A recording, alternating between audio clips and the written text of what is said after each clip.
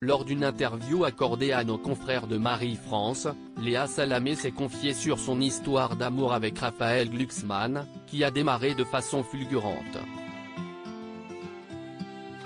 On n'est pas couché, vous avez la parole, stupéfiant ou encore on est en direct sont autant d'émissions télévisées qui ont permis à Léa Salamé de hisser sa carrière au sommet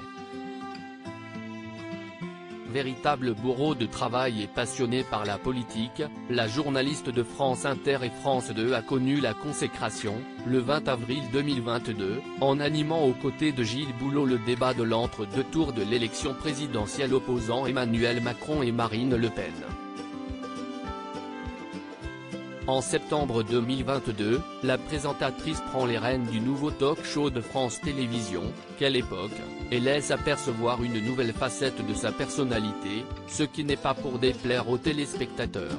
En six mois, j'étais enceinte pour Léa Salamé, la quarantaine symbolise une étape cruciale de la vie.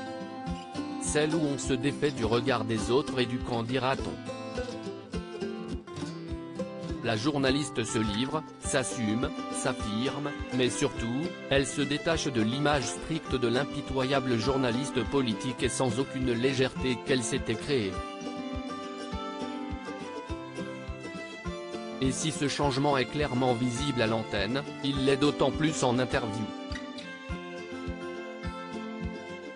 En acceptant de se livrer à nos confrères de Marie-France, Léa Salamé a librement et tendrement évoqué son histoire d'amour avec Raphaël Glucksmann. Une rencontre, fin 2015, a fait l'évidence. Un homme m'a donné envie de devenir mère.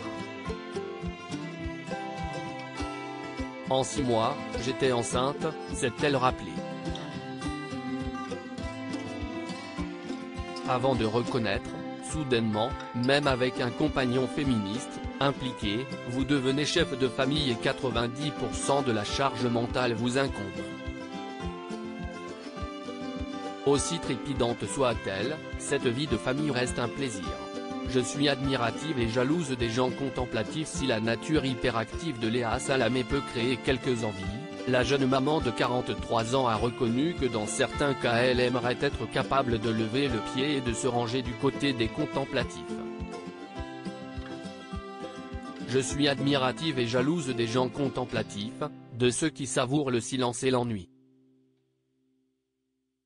C'est la définition du bonheur de savoir profiter de l'instant présent. Voilà mon problème, je suis puissante avec un côté machine connectée. Sans chercher le calme, j'aspire à l'équilibre, c'est elle définie, non sans philosophie. À lire aussi j'avais des doutes, cette personnalité controversée que Léa Salamé ne songeait pas forcément à inviter dans quelle époque. Article écrit avec la collaboration de 6 médias.